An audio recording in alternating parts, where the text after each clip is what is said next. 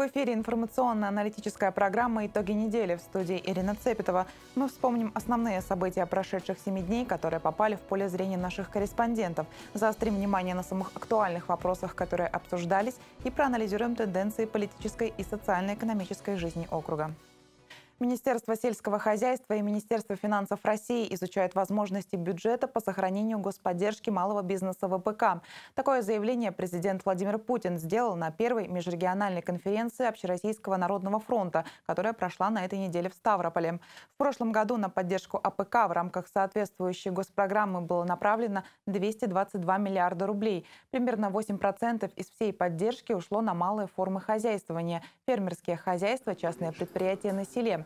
Причем планировалось, что в 2016 году общая поддержка АПК будет немного увеличена до 237 миллиардов рублей. Однако сейчас, по словам президента, Минсельхоз вместе с Минфином изучают возможности бюджета. Власти уделяют этой проблеме особое внимание, ведь именно частные подсобные и фермерские хозяйства, по словам президента, дают заметную добавку в общую продовольственную корзину страны связи с чем они должны быть поддержаны.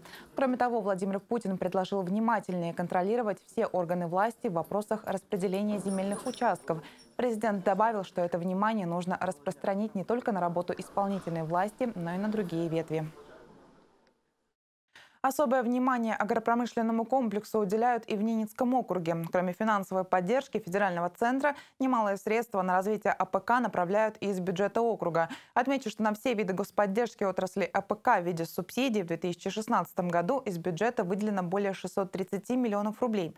Несмотря на непростые экономические условия, власти региона не только не уменьшают объемы поддержки, но и увеличивают ее, вводя новые виды субсидий. Большое внимание при этом уделяется малому бизнесу, который который только начинает заниматься сельским хозяйством и при этом уже вносит свой вклад в увеличение валового регионального продукта.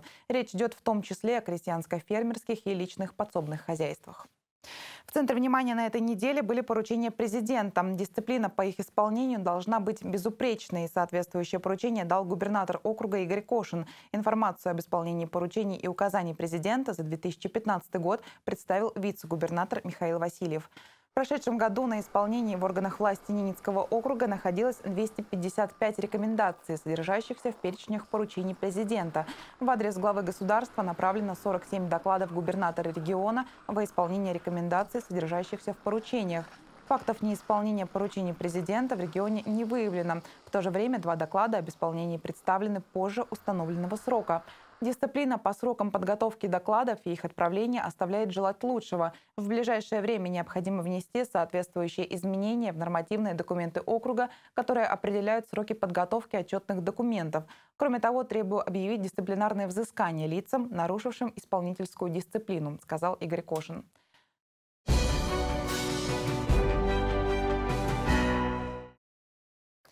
Всплеск заболеваемости тяжелыми инфекциями, такими как грипп, подтолкнул к законодательным инициативам. Сенатор от Ненецкого округа Вадим Тюльпанов обратился к вице-премьеру Ольге Голодец с предложением пересмотреть порядок начисления выплат при получении больничных листов, если человек заболел гриппом или другим опасным инфекционным заболеванием. Стопроцентная компенсация даст возможность гражданам полноценно пройти лечение и не разносить инфекцию, перенося болезнь на ногах.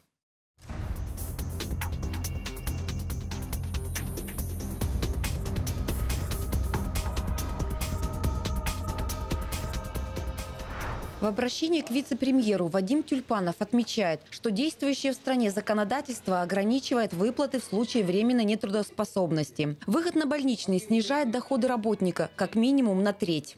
Однако острая эпидемиологическая ситуация, сложившаяся сегодня во многих регионах России и имеющая тенденцию к ежегодному повторению, диктует изменения сформировавшуюся правовую схему и страховую практику, отметил Вадим Тюльпанов. Необходимо увеличить сумму выплат за больничные дни, что станет стимулом для заразившихся граждан, соблюдать правила карантина и не переносить болезнь в офис, транспорт, общественные места, а принимать лечение на дому или в стационаре. Это положительно скажется и на непосредственно их здоровье, и на здоровье окружающих. Особый порядок оплаты стопроцентного больничного листа сенатор предлагает распространить на людей с заразившимися инфекционными заболеваниями при сроке больничного до 10 дней в год, вне зависимости от трудового стажа. Данную инициативу уже поддержали окружные депутаты. Этот вопрос был предложен департаменту. Департамент отнесся с пониманием, и они будут над этой темой работать. И вполне возможно, что мы все-таки э, пойдем э, ну вот, в ногу с мнением нашего сенатора. Потому что на сегодняшний день вот та сумма, которая оплачивается, конечно, она за счет а, Афомса недостаточная. Ну, люди теряют заработки, не, не желая заболеть и не заболели, или люди серьезно теряют заработки. И на сегодняшний день ведь в каждой семье этот вопрос решается по-разному. Если есть вот как раз ситуация, когда надо жил из себя тянуть, чтобы детям помогать, люди идут на работу, конечно, люди идут на работу. А если один родитель, это вообще ситуация получается безвыходная. По словам Татьяны Бадьян, такие выплаты по больничным листам необходимо ввести в экстренных ситуациях, когда речь идет об эпидемиях гриппа, ОРВИ и другими опасными инфекционными заболеваниями. 26 января в регионе ввели режим карантинно-ограничительных мероприятий в связи с всплеском ОРВИ и гриппом. Соответствующее постановление подписала главный государственный санитарный врач по Ненецкому округу Наталья Кирхер. Постановление предписано организовать комплекс карантинно-ограничительных мероприятий в государственных медицинских организациях – осуществлять контроль за поддержанием несжижаемого запаса противовирусных препаратов и средств индивидуальной защиты, осуществлять медобслуживание детского населения и беременных женщин преимущественно на дому с проведением ежедневного патронажа, обеспечить готовность к развертыванию дополнительного коечного фонда и поэтапному перепрофилированию стационаров и отделений для госпитализации больных с гриппом, ОРВИ и внебольничными пневмониями. Кроме того, поручено запретить проведение в образовательных учреждениях культурно-массовых и спортивных мероприятий в закрытых помещениях. А решение о введении карантина в группах детских садов или классах школ будет приниматься при одновременном отсутствии более 20% детей, заболевших гриппом и ОРВИ, на срок не менее 7 суток. Меньше чем за неделю в регионе было зафиксировано почти 900 случаев ОРВИ и 14 случаев гриппа. Два случая заболевания взрослых были подтверждены лабораторно. Сразу отмечу, что речь идет не о свином гриппе. Случаев заражения гриппом H1N1 на территории региона не зафиксировано. По сообщениям Роспотребнадзора, в ряде детских садов и школ был введен карантин. Полностью были закрыты группы и учебные классы. Об этом в нашей студии мы поговорили с заместителем руководителя управления Роспотребнадзора по Ненецкому округу Светланой Брылевой в школах, э, в дошкольных образовательных учреждениях э, при э, заболевании детей более 20% либо в группе, в классе, либо в общем в учреждении принимаются меры по разобщению детей, то есть классы, школы, группы закрываются, не функционируют в течение 7 дней. При необходимости этот период может быть увеличен. На данный момент у нас а, закрыто, закрыты 23 а, группы в 8 дошкольных образовательных учреждениях и 13 классов в общеобразовательных учреждениях. И полностью закрыты школа, сад а, в деревне Куя, школа, сад в поселке Хунгурей и детский сад села Оксина.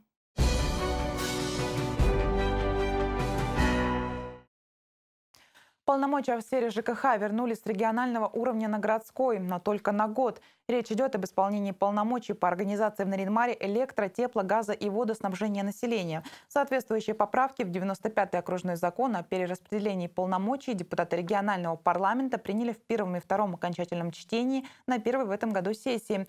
Всего в повестке дня значилось 20 вопросов.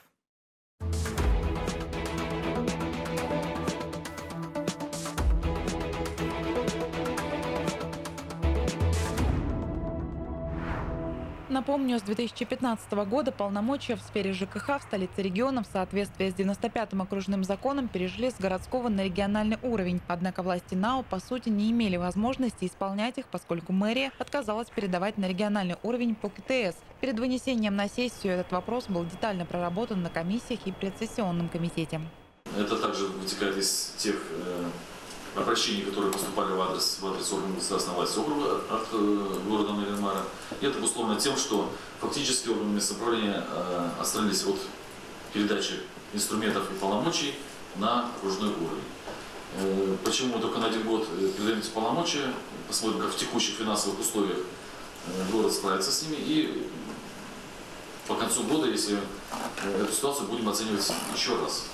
Вернут полномочия и Заполярному району. Речь идет о полномочиях по организации в сельских поселениях строительства муниципального жилищного фонда и созданию условий для жилищного строительства. Это делается также на основании обращения администрации Заполярного района. Она заверила власти НАУ, что средства на строительство муниципального жилищного фонда в районном бюджете имеются.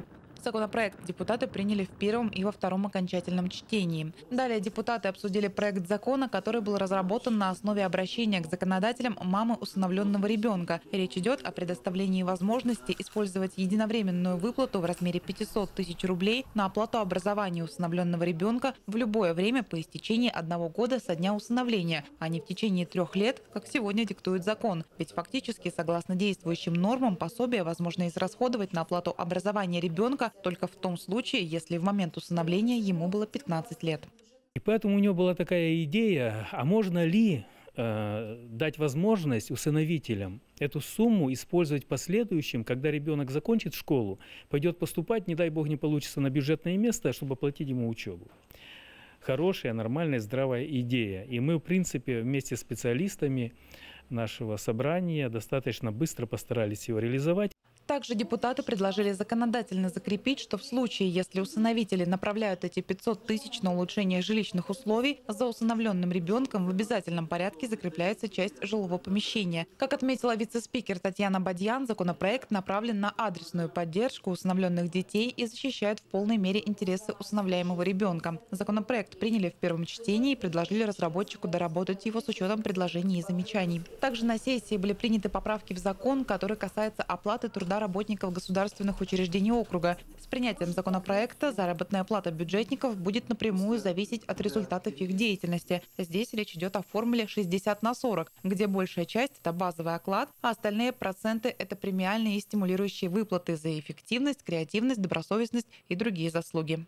Данный законопроект, он принят прежде всего еще с тем, что мы до 1 января 2018 года должны все перейти на форму эффективного контракта. То есть это федеральная политика. Но каким образом она будет здесь реализовываться в регионе, э, многом зависит и от э, трудовых коллективов, зависит от профсоюзного движения, от э, действий, конечно же, исполнительной власти.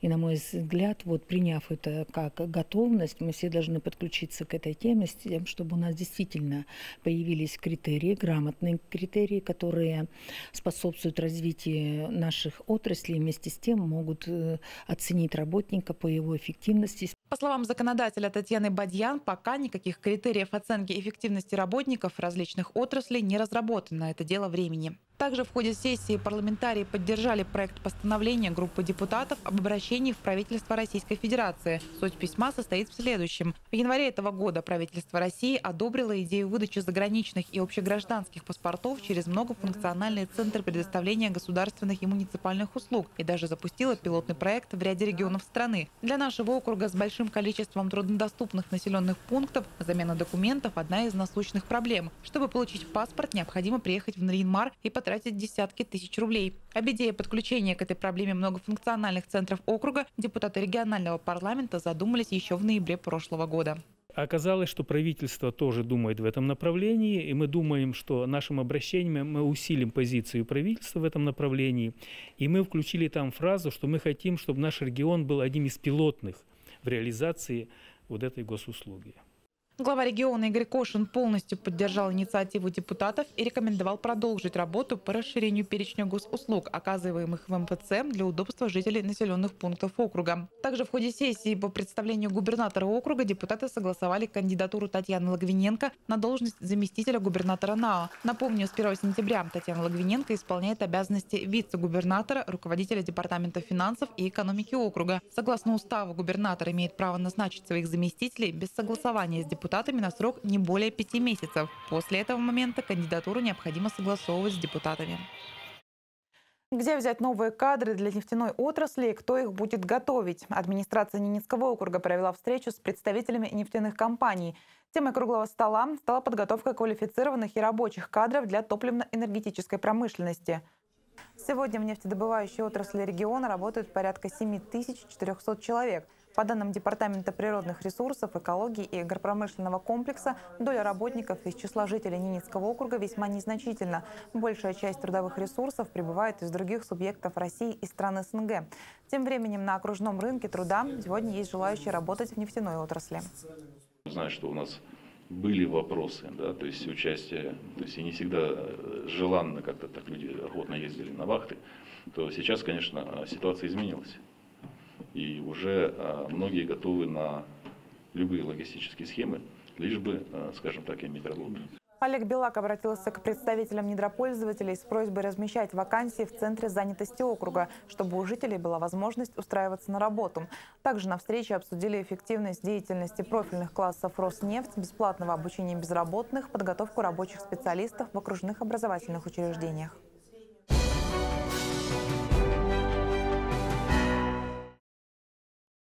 Ненецкий округ войдет в межрегиональный туристический маршрут. Его тестируют в рамках экспедиции «Русский север» русским машинам. Экипаж из 11 человек на трех соболях преодолел путь от карельского города Сартовала до Варандея. Наринмар в новом туристическом маршруте будет значиться конечной и культурной точкой.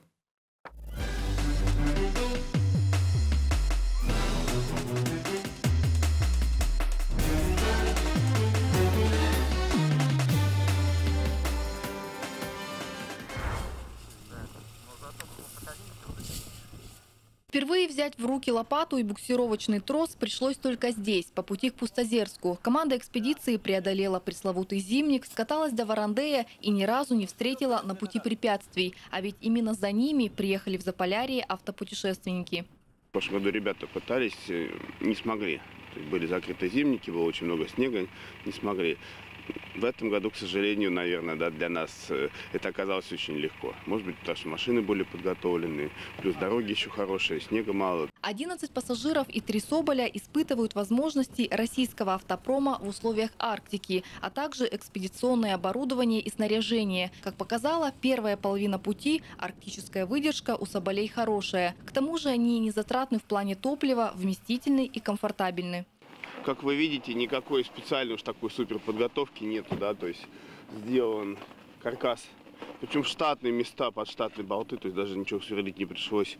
Просто сделан каркасик под спальное место. Угу. Ну вот здесь двое и спереди двое, наверное. Все, что необходимо для путешествия, уместилось в машину. Коробки с продуктами, теплая одежда, запчасти, дизельное топливо и аппаратура для съемок. В составе экспедиции профессиональные операторы, которые готовят фильм про автопутешествие. Потому что люди хотят увидеть эту красоту. Потому что вот мы ехали, мы просто останавливались, просто вот и снимали, снимали, снимали. До такой степени это, эти ваши рассветы заката, они просто они сводят с ума. Это, это невозможно. Это невозможно не снять, то есть мимо этого проехать. И поэтому у нас у всех все флешки забиты вот этой красотой. Вот у меня уже все, флешки кончаются. Я сейчас поеду, потому что хочется постоянно снимать. Культурную программу гостям организовал туристический культурный центр, он же принимающая сторона экспедиции. Гостям показали краеведческий музей, этнокультурный центр, Пустозерск и достопримечательности города. Мы вообще стараемся привлечь внимание автотуристов к разным местам, в том числе к русскому северу, потому что эти места э, в плане автотуризма немножечко забыты и несправедливо. Я очень люблю путешествовать по северу, это очень красиво, это очень хорошо. Поэтому призываю всех делать это, садиться на машины, на любые. Есть более сложные маршруты, есть более легкие. В Наринмаре автопутешественники проведут несколько дней, а затем отправятся обратно, в Карелию. Общая протяженность маршрута составит более 7 тысяч километров. Продолжительность тура – три недели. Конечная цель экспедиции – проработать автомобильные туристические маршруты для внедорожников и обычных машин. В марте планируется тестовый тур на Нивах.